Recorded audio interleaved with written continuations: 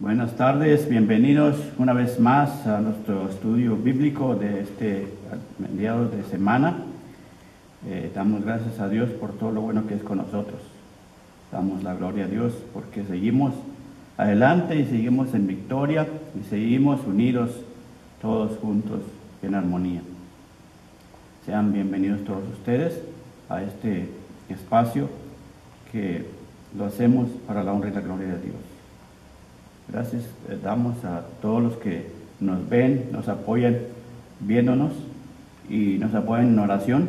Damos la honra y la gloria para, para Dios. Vamos en esta tarde, voy a empezar con una oración para dar gracias a Dios por todos los motivos de, de gracias, de cumpleaños, de aniversarios y también por las peticiones que están delante de Dios.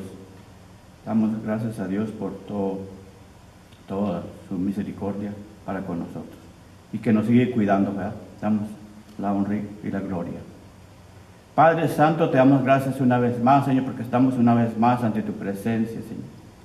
Te damos la honra, Señor, la gloria, Señor, porque tú siempre, Señor, estás con nosotros.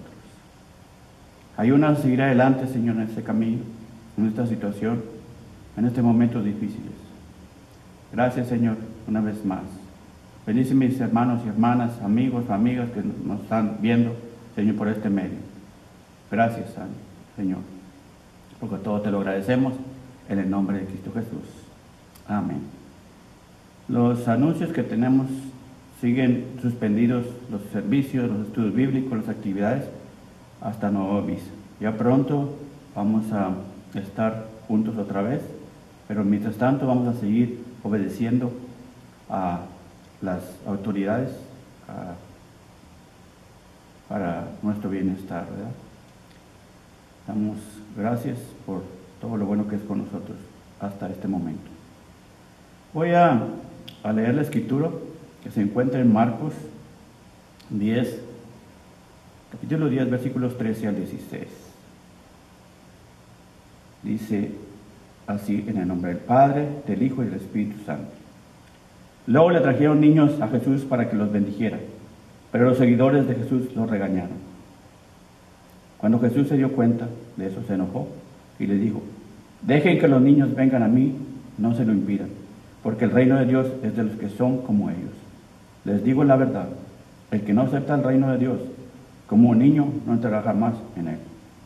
Jesús tomó a los niños en sus brazos y los bendijo imponiéndoles las manos. Palabra de Dios para el pueblo de Dios. Damos gracias a Dios. Amén. Como cada, cada mes de abril, nosotros honramos a los niños en este mes. Los eh, damos un día especial para ellos.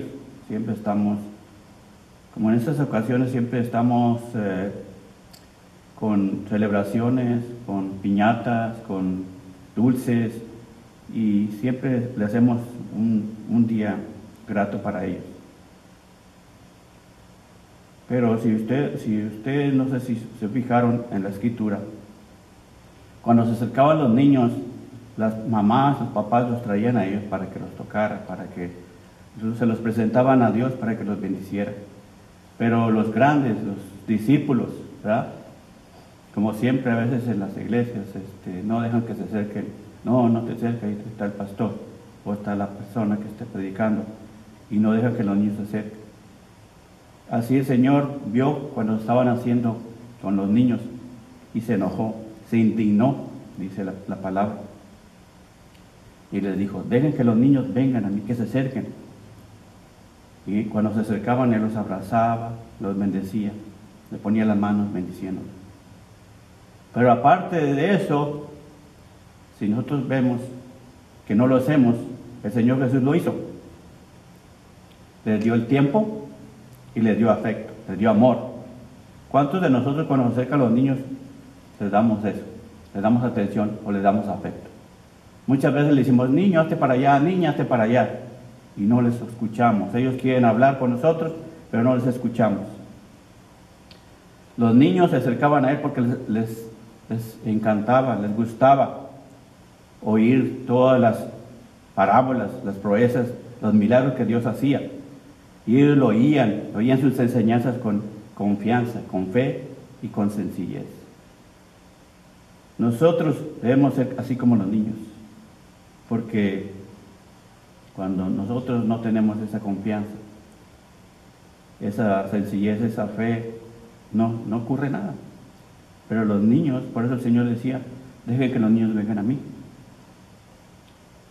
En este tiempo, no sé si tú compartes con tus niños en este tiempo de caos, de pandemia, cuando tus hijos se acercan a ti, tus hijas, te pones a platicar con ellos, compartes con ellos cuáles son sus gustos, cuáles son sus, las cosas que a ellos les desagrada.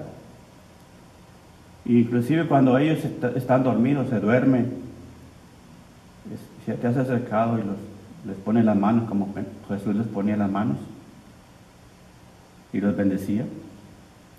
O cuando te has acercado cuando están contentos o cuando están, no están contentos, están tristes. En este momento, yo creo, en este tiempo que la, situación nos, nos, permite, debemos de estar en comunión con ellos. Porque la niñez pasa rápido. Hay que disfrutarlos, ahorita que son niños, que son jovencitos, porque cuando crezcan, ellos ya no comparten con uno, no conviven igual que nosotros. Hay que hacerse amigos de ellos, amigas de ellos, las madres, los padres, para que ellos puedan sentir la confianza cuando ellos se sienten mal, cuando ellos se sienten contentos, poder compartir con ustedes. En esta mañana estamos honrando a todos los niños, a los que a veces nosotros nos portamos como niños, que nos portamos, no nos portamos tan, tan adultos. Debemos de hablar con Dios y ser el Señor dice en su palabra que el que no fuera como niño no puede entrar al reino de Dios, al cielo. Quizá nosotros, a veces cuando nosotros estamos en problemas, nos portamos como niños. No, no tenemos esa madurez. Pero la palabra dice que, no, que el que no fuera como un niño no puede entrar al cielo. Damos gracias a Dios por este día que nosotros, aunque no lo podemos celebrar, como siempre lo celebramos cada año, pensamos que el año que viene vamos a celebrarlo todo. Pero, amigo, amiga, hermano, hermana que me escuches, si tú no compartes con tus hijos, con tus hijas, este es el tiempo, el tiempo que Dios nos ha dado. Quizás por, por esa razón el Señor ha puesto estas cosas. No sabemos, pero Dios usa todo. Muchas veces creemos que todo lo malo no tiene un beneficio, pero a veces todo esto malo tiene un beneficio, porque mantiene la familia unida, los hijos, las hijas unidos. Y ese es el tiempo de que toda la familia esté compartiendo unos con otros porque quizás a lo mejor más adelante no va a haber un tiempo para hacer esto. En esta tarde, hermano, hermana, amigo, amiga que me escuches, celebra en este tiempo, celebra con tus hijos. Acuérdate que ahorita están tomando las clases por medio de, del internet. Acércate a ellos anímalos.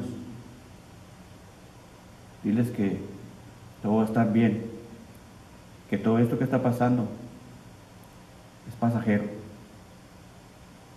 Pero yo te digo, hermano,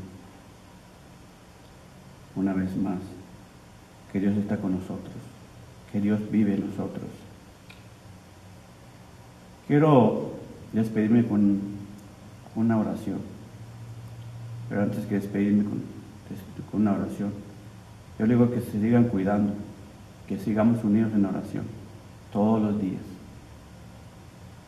Y oremos a Dios para que todo esto pase. Así que, hermano hermana que me escuches, amigo amiga que me escuches, en este día, dile a tu hijo, a tu hija, que lo amas, que no hay nada, no hay un niño o una niña más, más bella que ellos. Motívalos a seguir adelante. Porque así como nosotros fuimos niños, ellos van a, van a ser un día adultos. Y ayúdales a salir adelante. Motívales, ámales. Gracias a Dios, porque nosotros adoramos un Dios que quiere a los niños, que los acerca, que los bendice, que, los motiva. Me voy una oración en esta tarde. Padre Santo, te doy gracias una vez más, porque tú eres bueno con nosotros, Señor. Señor, pero sobre todo, tú eres bueno con nuestros niños. Señor, que tú nos los das desde que nacen, desde aún antes que nacer, muchos padres, madres, los aman, les hablan, les dan amor, Señor. Señor, si en esta mañana, en esta tarde, perdón, algún padre o madre nos ha acercado a sus hijos, este es el tiempo para que empieces a hacerlo. Recuerda que la niñez pasa pronto, la adolescencia pasa pronto y es el tiempo que muchos se van a estudiar otra parte. Pero mientras tú los tengas en tus casas, dales el amor, porque ellos siguen, siguen siendo tus niños, tus niñas, ante ti y ante los ojos de Dios. Que la bendición del Padre, la del Hijo y la del Espíritu Santo se quede con todos ustedes. Amén y amén.